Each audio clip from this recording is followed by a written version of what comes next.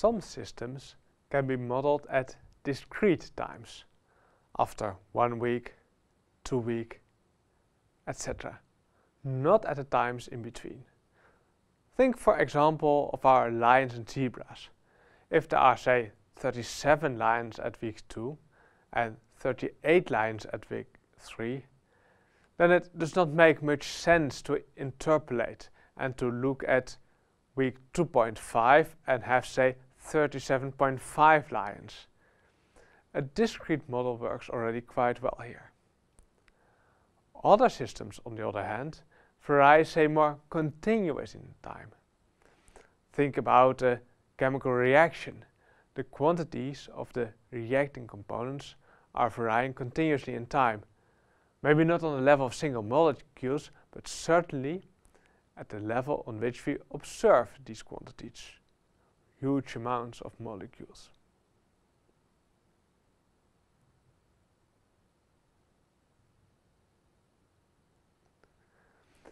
Another example is the change uh, uh, and current through some electrical circuit.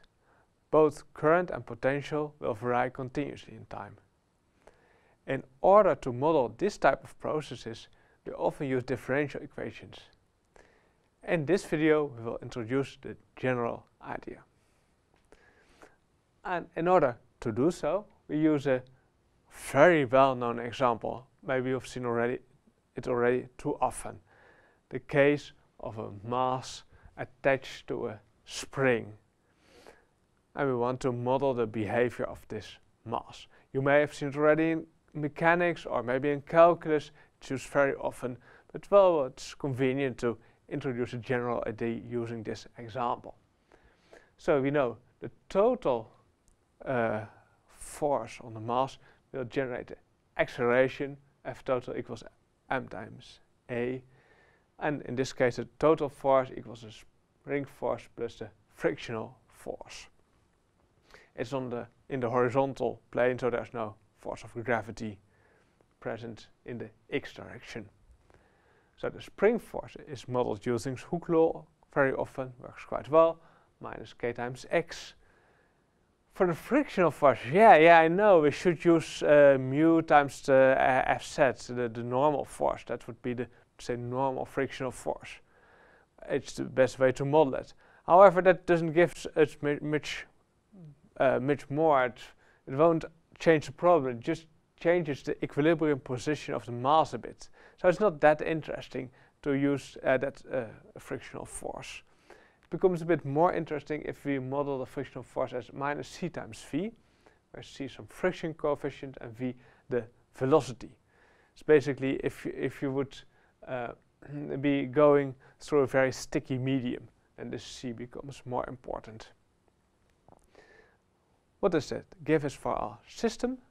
Well, we have dx dt, the derivative of position with, respect to time equals velocity v. dv dt equals a, acceleration. We know a equals minus k over m times x minus c over m times v. So we have a system of two linear differential equations. And we all always need to give some initial condition say at eh, t equals 0, we add eh, r to specified place x 0 and have a specified velocity v0. But as we will see later on, this initial condition doesn't really matter that much. Coefficients over here are important. Then we can rewrite the system a bit. As follows. We set x1 equals x and x2 equals v and we put x1 and x2 and a vector x. Then the vector x at t equals 0 equals x0, v0, initial condition. And for the derivative, x1 prime, x2 prime, we get the matrix times x1 and x2. And what do we have in the matrix? We have dx1 dt equals v, so dx1 dt equals 0 times x1 plus 1 times x2 because x2 equals v. And for the second row, we get dx2 dt or dv dt. We get minus k over m times x1 minus c over m times x2.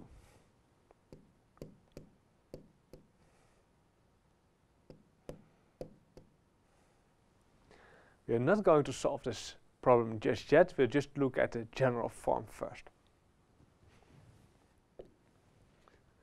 So, what do we see? The problem is of the following form. We have a x prime equals matrix times x, x prime equals matrix times x, with some prescribed initial condition.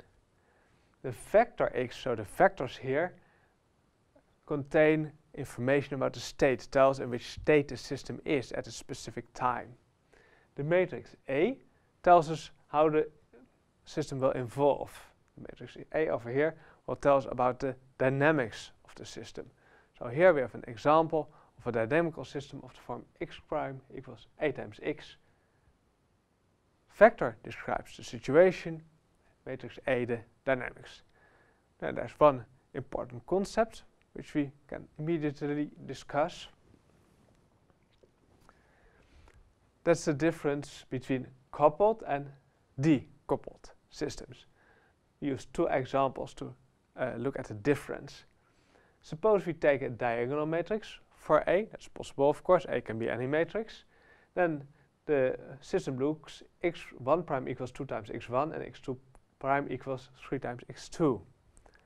But that means that x1 and x2 have nothing to do with each other. You can solve them separately. In such a case, we call the system decoupled, decoupled in two components. So in that case, you would actually not have a coupled system of equ equations. You can separate solve them one by one. However, if you put a bit more rubbish in the matrix A over here, so you have some general matrix A, and if you write down the components then, we have x1 prime equals 2 times x1 plus x2. So now x1 prime and x2 influence each other. Same for x2 prime and x1.